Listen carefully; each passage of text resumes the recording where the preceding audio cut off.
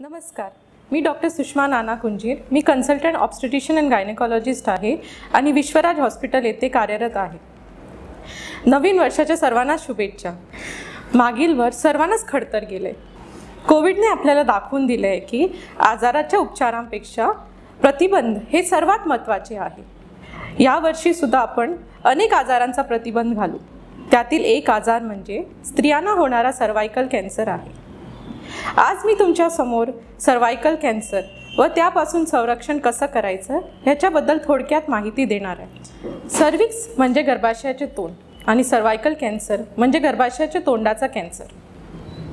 भारतात गर गर्भाशयाच्या तोंडाचा कॅन्सर हा स्तन कॅन्सरनंतर सर्वात जास्त होणारा कॅन्सर आहे.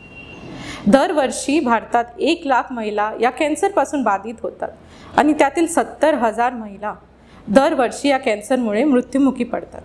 तसं म्हटलं तर दर सात मिनिटाला एक स्त्री या कॅन्सरमुळे मृत्युमुखी पडते. म्हणून सर्वायकल कॅन्सरपासून संरक्षण करणे हे सार फार महत्त्वाचे झाले आहे. आता हा कॅन्सर कसा होतो? तर हा कॅन्सर ह्युमन पॅपिलोमा नावाच्या एक व्हायरसमुळे होतो. हा व्हायरस कोणत्याही व्यक्तीला शारीरिक संबंध ठेवल्यानंतर होऊ शकतो. हा व्हायरस आपल्या शरीरात लक्षणे न करता बराच काळ टिकतो आणि अनेकामध्ये आपोआप बरा होतो.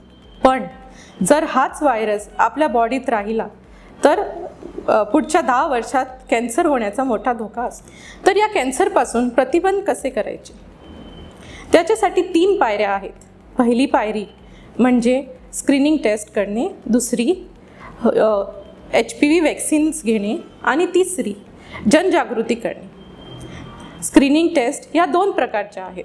पॅप टेस्ट आणि H P V D N E testing. Pap test तर तुम्ही ऐकलीच असेल. पॅप टेस्ट ही ओ पी डीमध्ये करण्यात येणारी एक सर्वात सोपी टेस्ट आहे. याला दोन ते तीन मिनटं लागतात. आणि कोणतीही भूल पण लागत नाही व दुखत पण नाही. योनी मार्गाद्वारे तपास करताना ही टेस्ट करण्यात येते. गर्भाशयाच्या तोंडाजवळचा स्त्रव काढतात आणि तो तपासणीसाठी पाठवतात.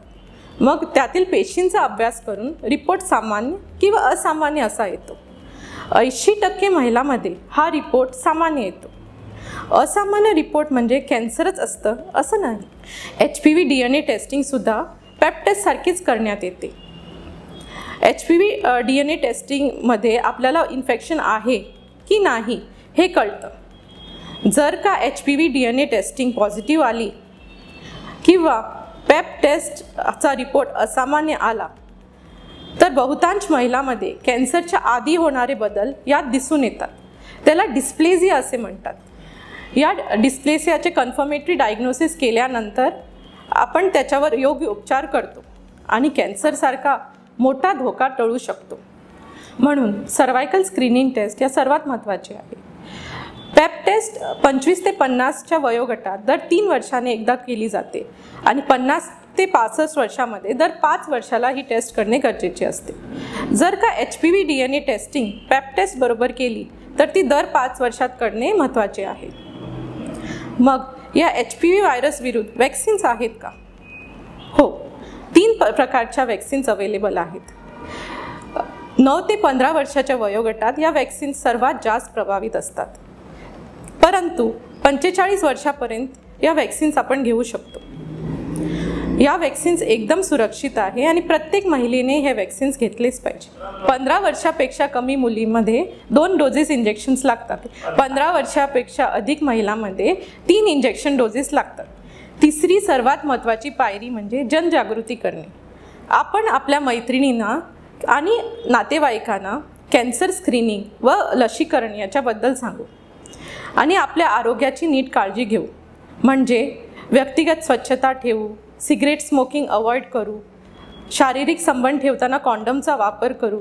एकापेक्षा जास्त पुरुषाबरोबर संबंध ठेवणे टाळू.